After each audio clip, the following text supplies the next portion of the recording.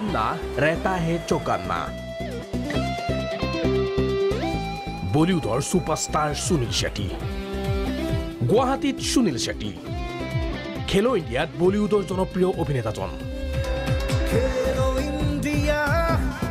মঙলবাৰে খেলো ইণ্ডিয়াৰ বিশেষ কাৰ্যসূচীত অংশ ল'বলৈ গুৱাহাটীত উপস্থিত হ'ল ছুপাৰষ্টাৰ সুনীল শেট্টি আৰু ক্ৰীড়ামন্ত্ৰী কিৰেণ ৰিজিজু।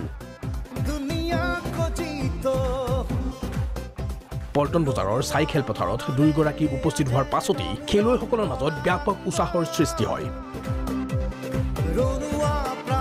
খেলুৱৈসকলৰ সৈতে এক চমু বাৰ্তালাপত মিলিত হয় Sunil Shetty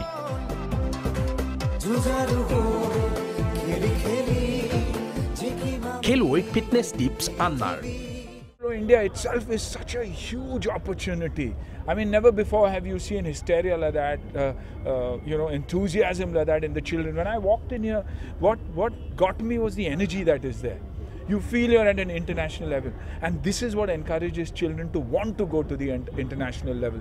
When you see heroes and when you see you being appreciated anywhere, is when you want to achieve uh, more. That's why I say eat clean, play dirty. When I mean play dirty, means sweat, blood, mud, toil, but let, let it keep happening. I think it, it, it's, it's, a, it's a state that is showing tremendous progress, and I wish them the very best. Khelo India দুহেজাৰ বিছক লৈ সুখী সুনীল শেট্টি ইফালে cricketer হোৱাৰ সপোন থাকি গ'ল Sunil শেট্টিৰ team ইণ্ডিয়াৰ হৈ খেলাৰ সপোন আছিল তাৰকাগৰাকীৰ I only only wanted to play for India. My only dream was to play cricket for the country or represent the country in any sport. Unfortunately, I couldn't. God chose me to be an actor. But if I can give back, if I can give back to my children, I think that would be uh, that would be absolutely wonderful. And I I feel I'm blessed. And uh, if I'm asked to do one, I know I'll do ten things because I love my country, I love sport, and I honestly believe there's no better hat than you can wear, uh, wear than ever representing your country. ক্ৰীড়ামন্ত্ৰী আৰু তাৰকাগৰাকীয়ে জুডোৰ পদক বিতৰণিৰ এক অনুষ্ঠানতো অংশগ্ৰহণ কৰে। গুৱাহাটীৰ আয়োজন দেশৰ ভিতৰতেই চকুত লগা। অসমে ক্ৰীড়া ক্ষেত্ৰত চমকপদ উন্নতি কৰিছে। মুখ্যমন্ত্ৰী সৰ্বানন্দ সোণোৱালকো ধন্যবাদ ৰিজিজুৰ। গুৱাহাটীত চলি থকা খেলো ইণ্ডিয়াৰ আয়োজনক লৈ সন্তুষ্টি ব্যক্ত কৰিছে দেশৰ ক্ৰীড়ামন্ত্ৰীগৰাকীয়ে।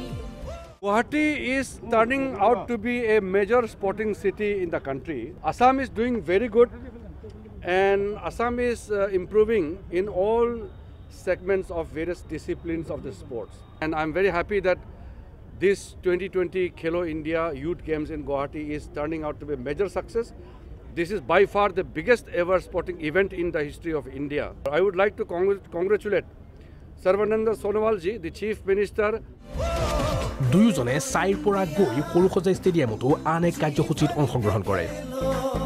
তাতো খেলুৱৈৰ সৈতে মত বিনিময় কৰে দুয়োগৰাকীয়ে। ৰাইজক ভোগালী বিহুৰ শুভেচ্ছা কিৰেণ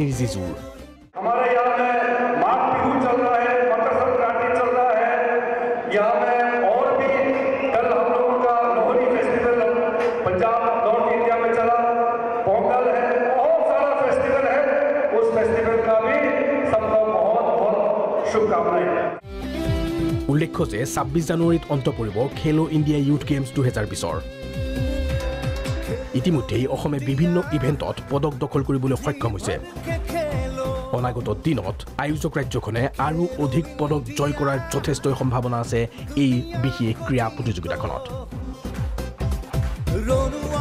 ভিডিঅ' জাৰ্নেলিষ্ট বিকাশৰ সৈতে নয়নজ্যোতি ভূঞা ৰিপোৰ্ট প্ৰাগ নিউজ